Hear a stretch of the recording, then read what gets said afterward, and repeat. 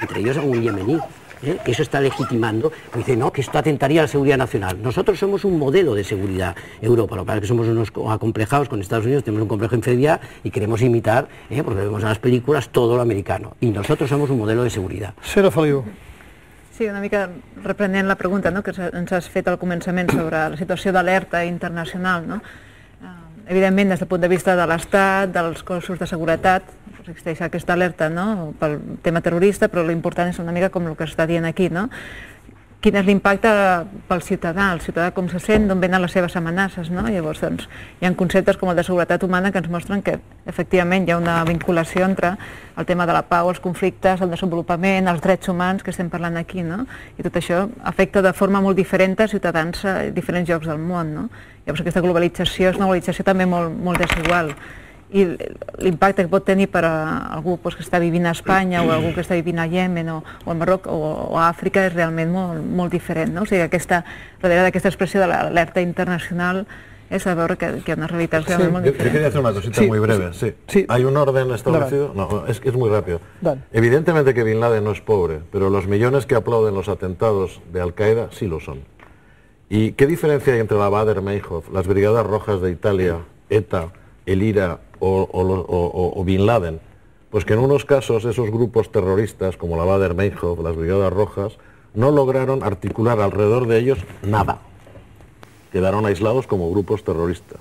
Otros, como IRA o como ETA, son un poquito más complejos de analizar, porque detrás tienen colchones políticos de simpatías mucho más amplios que lo que es la propia banda terrorista. Y en el caso del terrorismo islámico, que es ahora el que ha recuperado, o sea, el que tiene la bandera del terrorismo global, eh, lo que sucede es que tiene detrás, con sonrisas, con aplausos o como voluntarios para unirse, a millones y millones de una parte importantísima de la población humana, que son el, mundo musulmán. Y esto es lo que hay que analizar. No se combate igual a la banda Bader-Meinhof o a las Brigadas Rojas y al terrorismo de Bin Laden porque en ese caso hay otra serie de elementos no, a analizar. No están siendo combatidos igual. Sí, no, evidentemente están siendo combatidos peor. Jo crec, jo crec que eh, mm, sota aquesta etiqueta d'inseguretat global, eh, com és evident i ja s'ha posat aquí de manifest, eh, mm, s'amaguen coses molt diverses. No?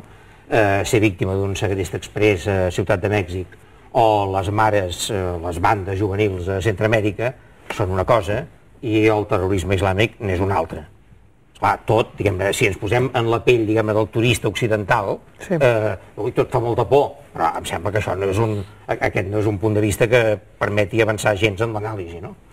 Eh, jo, francament, sobre les mares centroamericanes o sobre la delinqüència comuna en països de l'Amèrica Llatina no, no hi entenc, diguéssim, i no, no tinc res especial per dir, suposo que sí, que responen eh, a les profundes desigualtats econòmiques i socials, etc etc. Ara, jo crec també, i voldria mm, dir-ho amb la màxima contundència possible, que el, diríem, el paradigma europeu de matriu marxista, eh, aquell que des de fa 150 o 200 anys eh, interpreta els conflictes al món, les revoltes, etc, com a protagonitzades pels eh, pàries de la tierra, per utilitzar la frase de la, de la versió castellana de la internacional, jo crec que aquest paradigma no serveix per analitzar el terrorisme islamista eh, global no serveix. Jo crec, mm, lo siento, José María, però jo, però jo crec que... Siento que no m'hayas entendido. No, no, no, no, jo crec que sí, però deixa'm, deixa'm, deixa'm explicar, en tot cas. No, sí, sí. deixa'm explicar. Uh, jo crec que no, no són los pàries de la tierra, no?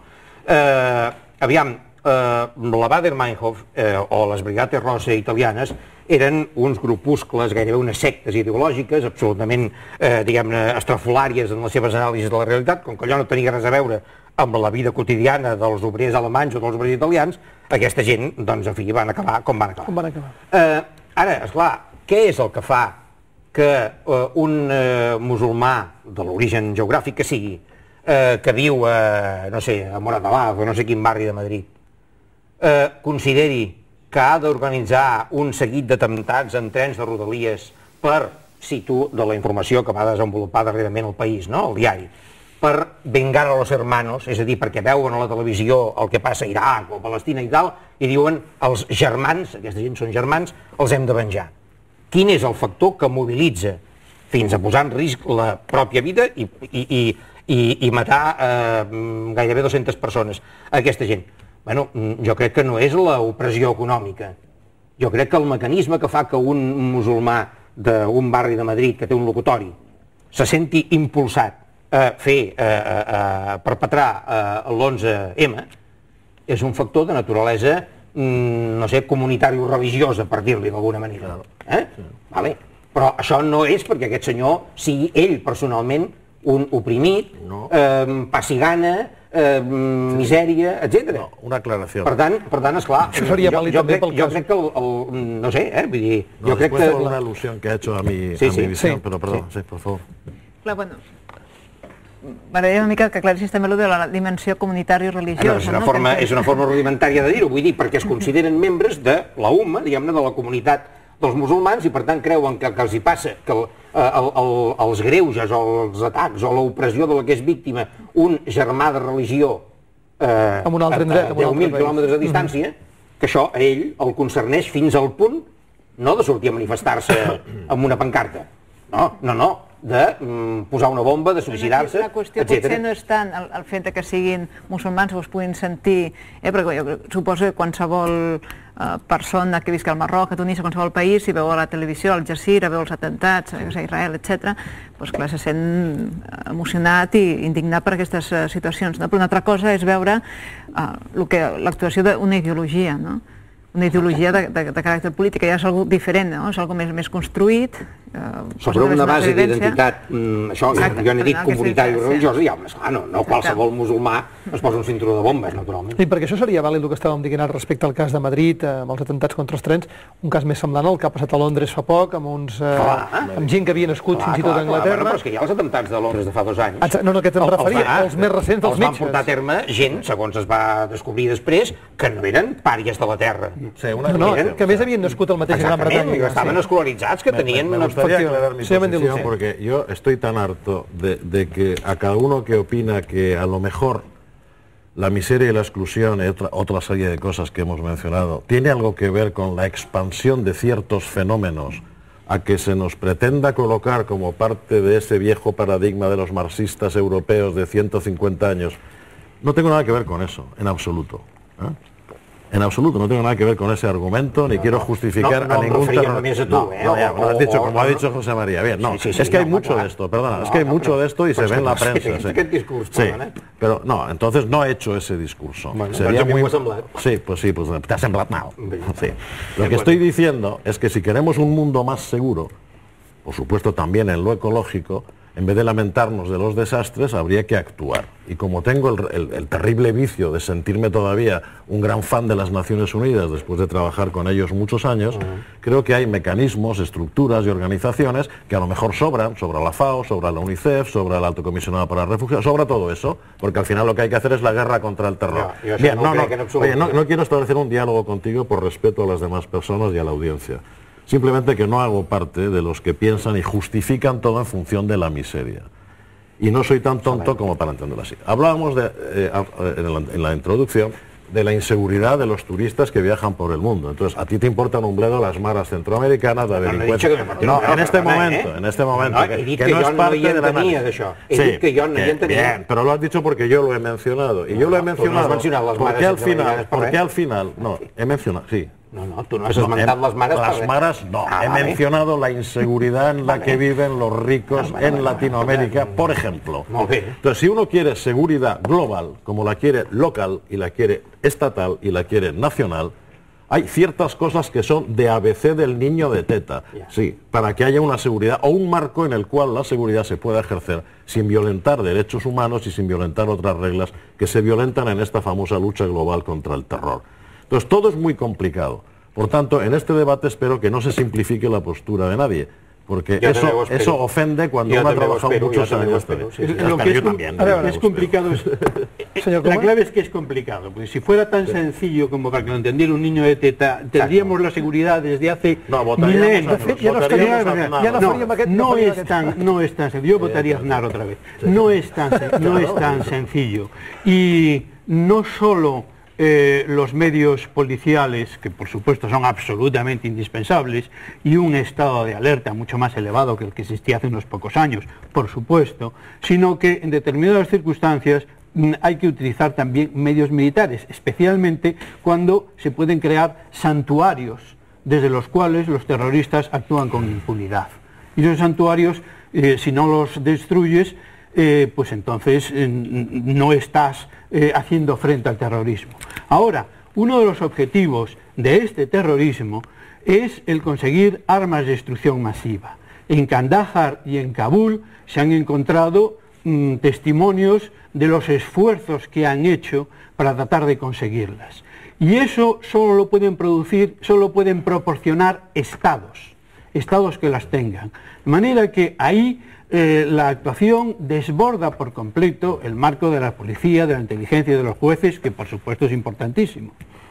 Sí, yo me refería al eh, señor eh, eh, yo creo que evidentemente si hay un Estado, pues como había el de los talibanes, puede haber una razón. Pero a ver, usted dice santuarios.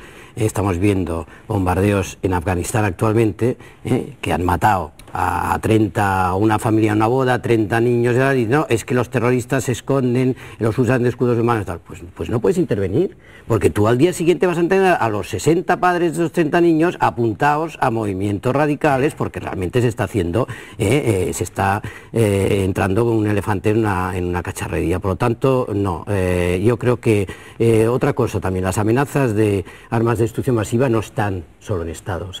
Las, las, el terrorismo nuclear es una amenaza que está dentro de Estados Unidos y no voy a explicar aquí. Es un eh, estado, eh, sí, sí, pero dentro, dentro, digo, no, no en otros estados eh, canallas fuera, no, no, están dentro. Y como más seguidores tengan, como más provoquemos a los 1.200 millones de musulmanes como algo terrorífico, como algo, como deje el mal, como, como, y hagamos estas injusticias, caso de Palestina e Israel, que todo el mundo sabe que sale de ahí, Vean la entrevista que se hizo al padre de Mohamed Atta, ¿eh? un hombre salido de Palestina odiando, pero como un loco y tal. Yo entiendo cómo se educó ese niño, ¿eh? además muy calmado, muy callado, pero el padre es un odiar a Israel y tal. O resolvemos estos conflictos o ya puede usted hacer muchos, y buscar santuarios, van a salir, ¿eh? los santuarios están saliendo en el barrio de Londres y en el barrio de tal. Por lo tanto, hay que utilizar menos al ejército, ¿eh? menos, que es una tradición militarista que tenemos en España y que sabemos que lo hemos aprendido, ¿eh? que precisamente nosotros estamos luchando y tenemos más seguridad, estamos luchando con policía, con justicia y con la colaboración ciudadana, con la participación ciudadana,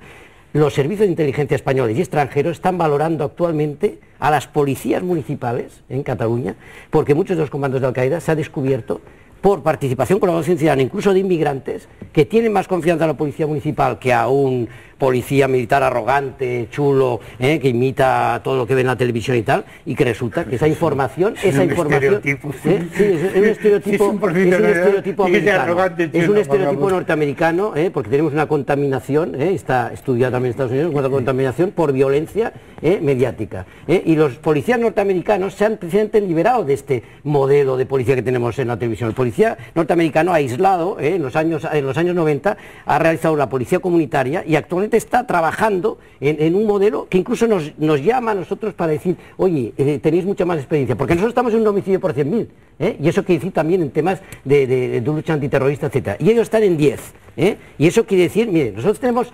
147 presos por 100.000 habitantes, ¿Sabe cuánto tiene Estados Unidos? ¿Eh? Los países de Europa tienen 200 presos máximo. ¿Sabe cuánto tiene Estados Unidos? 740 presos por 100.000 habitantes, siete veces más.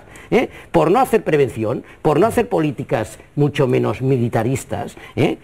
tienen al final que 10 veces más cada vez, les matan 10 veces más, les matan 10 veces más, tienen, tienen 7 veces más prisiones, tienen hasta 7 veces más verdugos porque tienen que tener pena de muerte. Nuestro modelo es más prevención, más negociación, más integración. ¿eh? Tenemos una comunidad musulmana aquí muy importante. Estaba trabajando, ¿eh? hay poblaciones de Cataluña que tienen hasta un 30% de población inmigrante. Están trabajando ¿eh? sin, sin, reconocimiento, por cierto, de nadie. Están trabajando para integrarlo y hay una relación mucho más humana, más integradora en España que en muchos sitios, en guetos de, Estados Unidos y en, guetos de En Estados Unidos los musulmanes están muchísimo mejor integrados que en Europa. De hecho, es una comunidad que tiene un grado de éxito medido por el nivel cultural y por el nivel económico económico superior a la media de los ciudadanos americanos. Sí, sí em permeti'm una cosa. Sí. El professor Lleó en feia referència en la seva intervenció en què una miqueta, si no ho he entès malament, vostè em corregirà, en què la situació que es produïa en aquests moments de terror global en bona part venia donada per l'actitud de la política exterior que havia tingut els Estats Units. Vostè parlava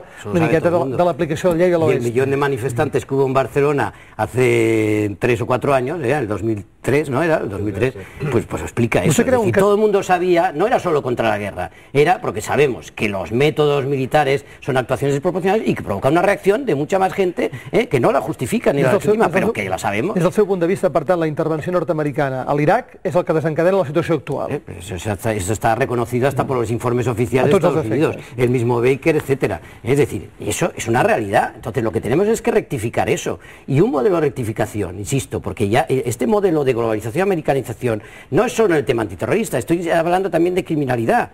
¿Eh? Y eso también tenemos que ver lo que es otro tipo de criminalidad. Si lo cogemos como una guerra, como Bush también intentó la guerra contra la droga, mire cómo está Colombia, ¿eh? la guerra contra ahora contra la inseguridad alimentaria, la guerra contra todo, pues, pues, pues no, no, no es las fórmulas. ¿eh? Hay unas formas de trabajar en democracia, aplicando la ley, aplicando los tribunales y por supuesto el modelo que hemos hecho en España de tribunal del 11M, con todas las garantías, ha legitimado mucho más a la lucha antiterrorista que lo que está haciendo, ¿eh? y que al final Estados Unidos tiene que rectificar lo de Guantánamo. ¿eh? La, la, Corte Suprema Norteamericana ya ha dictado tres sentencias, Rasul versus Bush, Handy versus Rumsfeld y Hamdan versus Rumsfeld, diciendo que el Tribunal Supremo va a controlar al ejército norteamericano, incluso estando fuera del país, aunque no tenga soberanía. Pero, señor Valverde, ¿Eh? Entonces, ver, bueno, no. hasta la Corte Suprema ha dicho no, que lo están haciendo mal. Es que, eso es un, seguida... esto está generando una realidad. Ha dicho no ha dicho això seria matitzable. En qualsevol cas, jo sí que m'agradaria conèixer l'opinió de l'altra gent de la taula sobre aquesta implicació, aquesta tan directa responsabilitat dels Estats Units eh, amb aquesta situació global. De una parte de Estados Unidos, de la, del Estados Unidos del gobierno. Hay otra parte de Estados Unidos no, que, clar.